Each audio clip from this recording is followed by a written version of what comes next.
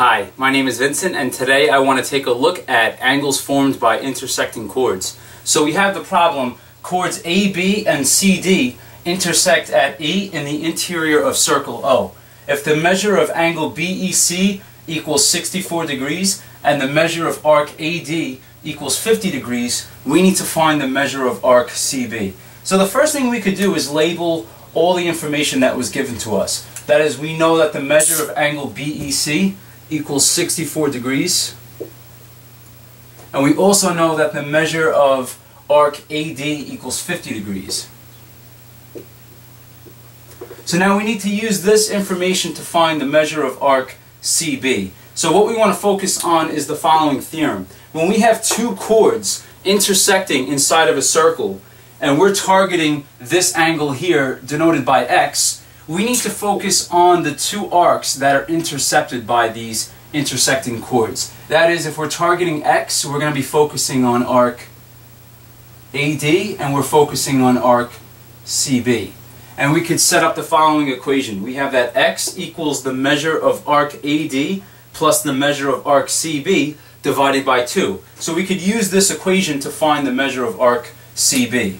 So what we want to do now is we're setting up we have angle, or the measure of angle BEC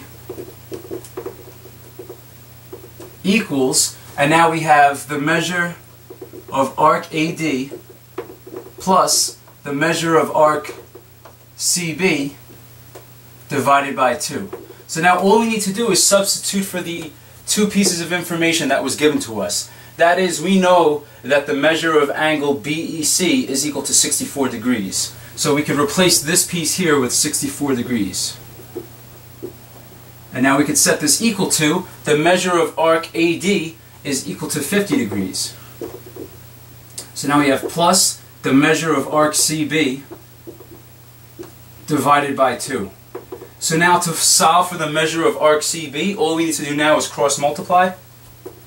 So we could call this 64 degrees divided by 1.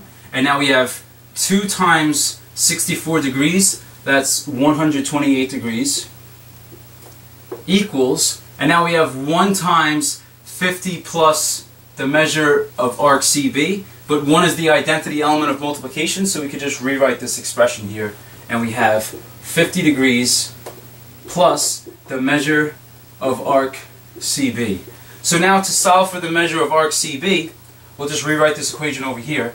We have 128 degrees equals 50 degrees plus the measure of arc CB. We just need to subtract 50 from both sides of this equation. So then now we have our answer. 50 degrees minus 50 degrees will cancel. We just got to put these units of measurement. They are important. So this gives us 128 degrees minus 50 degrees gives us 78 degrees. So 78 degrees is equal to the measure of arc CB. So now we could just label this on the circle diagram that we have here. The measure of arc CB is equal to 78 degrees. So just remember, just to recap, the way we want to make use of this theorem, we were given the measure of angle BEC. In some sense, we do know that the measure of angle AED is also 64 degrees because these two are vertical angles.